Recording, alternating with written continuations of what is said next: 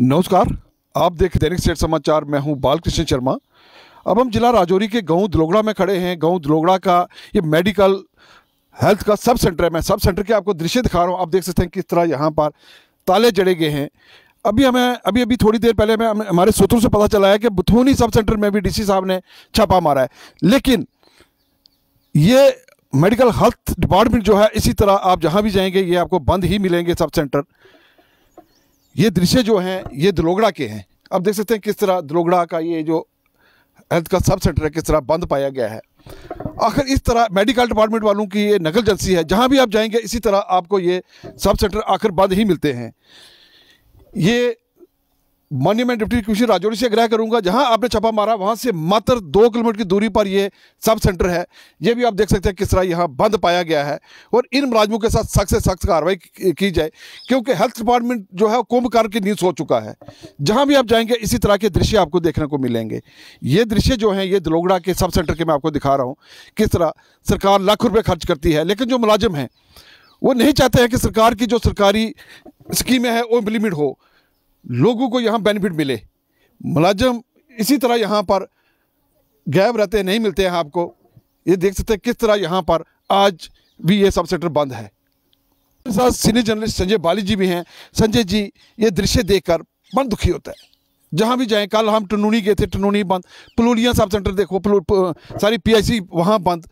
आज दलोगड़ा ये भी बंद। इस इस सेंटर की तो बहुत बड़ी शिकायत है कि यह खुलता ही नहीं है। हाँ जैसे अभी मालूम हुआ कि डी साहब ने दौरा कर रहे हैं, लेकिन डी साहब भी दौरा वहीं करते हैं जो रोड के बिल्कुल नज़दीक हों। हम डी सी साहब से यही आग्रह करते हैं कि जो रोड से अंदर हैं, वहाँ के दौरे किए जाएँ, क्योंकि ये अक्सर बंद ही रहते हैं। अगर यहाँ पे तीन या चार स्टाफ होता तो इनकी कोशिश यही होती है, एक आएगा, चार छुट्टी भी रहेंगे।